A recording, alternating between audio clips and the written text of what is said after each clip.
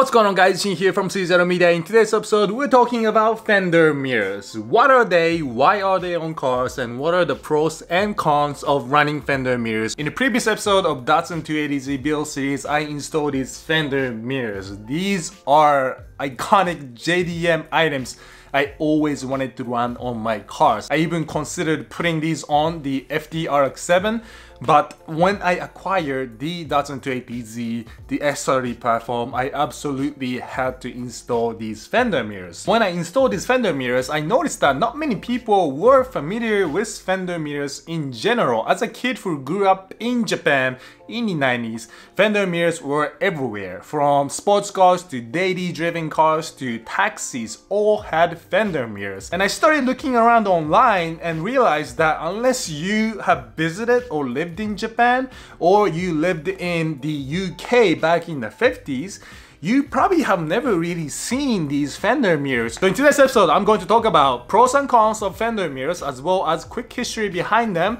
and the reasons why they have disappeared for the most part.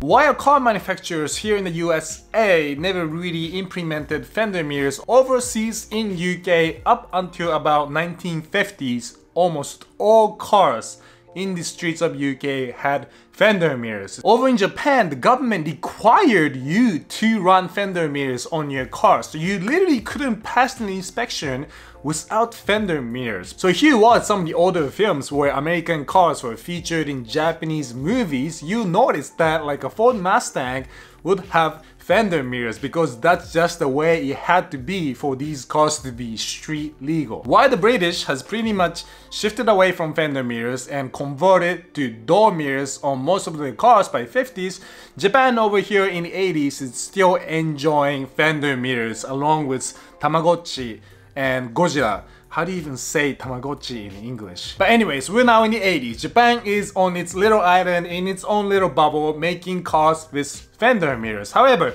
Japan wanted to start exporting cars to foreign countries like the US. But in a country where cars with fender mirrors were never really manufactured, people thought fender mirrors from Japan were ugly. So what Japanese companies started doing was producing the same exact car, one with fender mirror for Japanese market and one with door mirrors for the American market. And the Japanese buyers were complaining that they could only buy fender mirrored versions when they wanted door mirrors. And now we're gonna talk about pros and cons of fender mirrors, but before we get to that, please smash that like button if you like the video and share the video if you feel like any of your friends should be educated in regards to fender mirrors. Reason number one people prefer fender mirrors over door mirrors is the fact that because fender mirrors sit so far forward, it's already in your vision. You don't need to move your head around to look at the mirror like a traditional door mirror. If you sit in this Datsun and look forward, you're naturally going to look at the fender mirrors as you look at the road. Therefore, you're focused on what's in front of you, but at the same time, you're aware of what's going on behind you and around you. Benefit number two is that fender mirrors mirrors do not stick out further than the body line like a door mirror does. And this is very important, especially in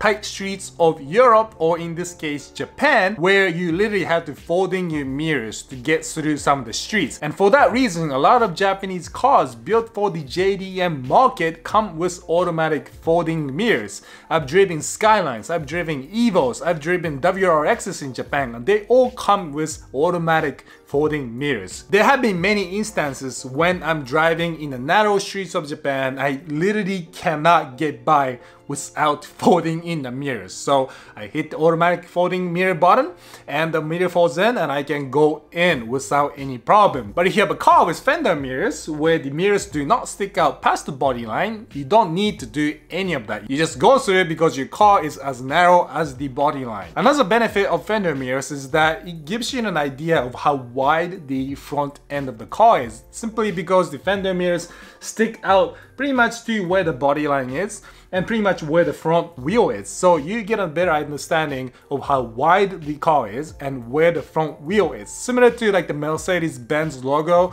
that sticks up on the hood, you get an idea of how long the nose is. Because fender mirrors are installed way in front of you towards the front end of the car, you're essentially eliminating blind spots. And this this is debatable because every fender mirror size is a little bit different and you're gonna have different uh, performance depending on the fender mirror size. But for the most part, by extending that mirror location further forward, you're able to have wider angle of vision, therefore eliminating blind spots. And last but not least, fender mirrors by theory creates less drag because it is part of the body instead of the door mirror sticking out from side of the car. Now this is somewhat debatable because cars with fender mirrors or designed and built in the 70s or 60s. Those cars in general don't have good aerodynamics to begin with, whether it's got door mirrors or fender mirrors. I bet you a 70s car like this, with no mirrors whatsoever, would have higher drag than like a Toyota Prius from 2019 with 10 door mirrors sticking out the side. Now let's talk about the downside of fender mirrors. And I think the number one reason why these things have become extinct is simply due to the danger that it causes to a pedestrian during pedestrian to vehicle collision. If you imagine there's this piece of metal sticking out of the hood, the car would hit the pedestrian, pedestrian would come onto the hood and his neck would get caught on the metal, breaking the neck or breaking a rib or whatever. So these are serious hazard if you are in a pedestrian to vehicle collision. Reason number two, fender mirrors are not so common nowadays is simply because of its ugliness. A lot of people thought fender mirrors were ugly and I can see that. It kind of destroys the flow of the car, the design of the car up in the front, especially in motor cars where the hood is a lot shorter. Even in the Datsun world, there are people who prefer fender mirrors, people who prefer long stack fender mirrors, short stack fender mirrors like the one here, people who like door mirrors, people who like no mirrors. So it is complete personal opinion, but the majority of the world did not like the fender mirror design. Same reason why Japanese car manufacturers in the 80s had to switch to door mirrors to adapt to the foreign market and also the same reason why the Japanese government started allowing door mirrors as well as fender mirrors to pass inspection in the 80s. Another downside is that because fender mirrors are so far out on the hood, objects in the mirror become super tiny and you kind of have to squint into it if you have smaller fender mirrors. And because it's sitting outside of the car on the hood, adjustment is kind of a pain. You literally have to sit on the driver's side and let somebody else adjust it for you to adjust the thing and cleaning it is also a pain. Speaking of cleaning fender mirrors, Nissan made a model called Leopardo which I don't really know how to pronounce in English because it was a JDM only model. I guess it would be like a leopard. If that's the case, that's a very ugly name for a car, like a Cougar. But anyways, Nissan Leopardo had wipers on the fender mirrors to make sure it was nice and clean similar to the wipers on the headlights back in the days. So that's kinda cool. Who knows where the technology would be today if fender mirrors were still a thing. So those are the pros and cons of fender mirrors. But despite these negatives that comes with running fender mirrors, if you go to Japan, you still see cars like the Toyota Century or Toyota Crown running around Japan with fender mirrors. When you look at Japanese taxis, most of them still have fender mirrors. So why do taxis in Japan still run fender mirrors to this day? First of all, you gotta realize that taxi drivers don't drive their cars the way we normal people do from point A to point B.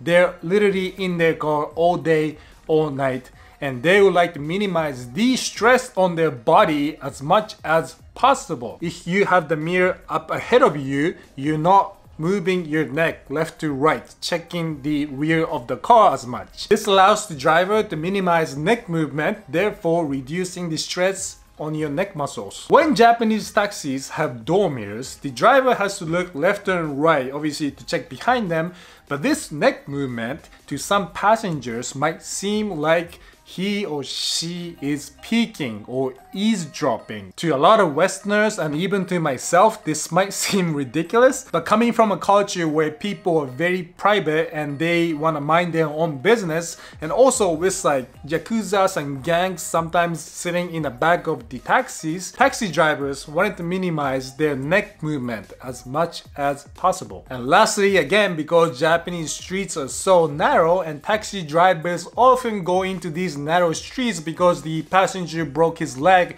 and he needs to be dropped off in front of his apartment on a street that is six feet wide, you want the car to be as narrow as possible. By installing these fender mirrors, the driver does not have to fold in the mirror in and out all the time, and at the same time, the car is able to be as narrow as it possibly can to go through these narrow streets. So for these reasons, Japanese taxi drivers still to this day swear by fender mirrors. Even the brand new 2020 Japan taxis still come with fender mirrors. Now that you're well educated on fender mirrors and hit the like button already, let's finish up the video by talking about what's called side under mirrors. You may have seen these if you have visited Japan recently and it became a thing since around 2005.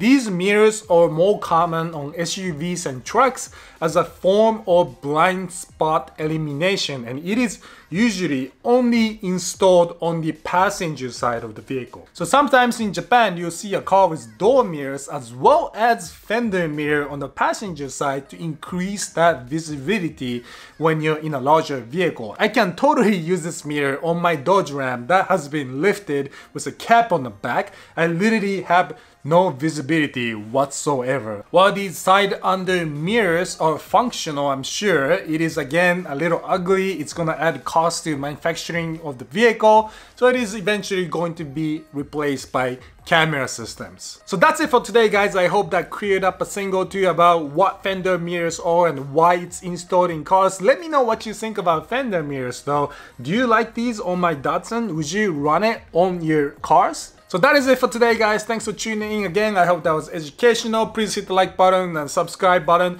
And please leave comments in the comment section below for any new ideas, topics you want me to cover as well. See you in the next video. Peace.